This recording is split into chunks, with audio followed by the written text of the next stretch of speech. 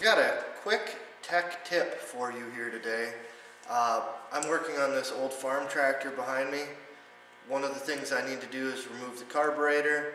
The fuel tank has a shut-off valve on it, but that does not work, and I'm not going to force it because then you break it and then you're really in trouble.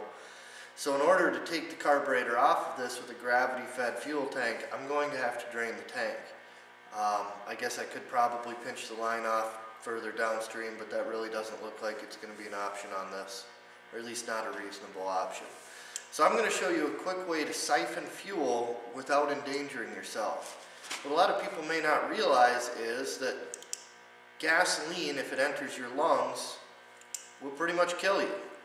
So I've got a simple blowgun here, an air hose hooked to a compressor, and a piece of clear line.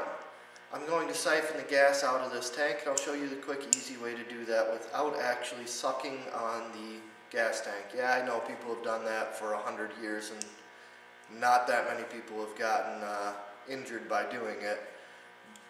But it's really easy to not have to one, taste gas and two, endanger yourself. So why wouldn't you do this? I'll bring you around here and we'll set this up in a way that you can see what's going on.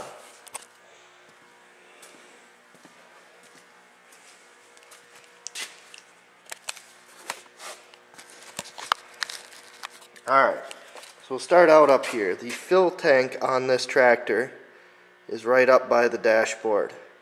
I just simply have this clear line running from it down around and into the, into the gas can. I've got a couple different cans. I'll swap those out as necessary while we're doing this. Now my air hose actually leaks a little bit, so I'm going to wait until it's time to use it to plug it in. But on this clear line, I have just a very small hole that the needle of this air hose fits into. If you have a rubber tip, you can cut like a notch in there. Uh, it does not need to be this far back. This one just happened to already have a hole wearing in it there, so I just poked it through at that spot. And what's going to happen is as I blow air through here, it's going to create a vacuum in this line and start to draw fuel out of the tank. So I will just simply plug that in, point it at my, at my can. And now we have, oh, missed a little bit. Now we have flowing gasoline, so I'm draining that tank out as we speak.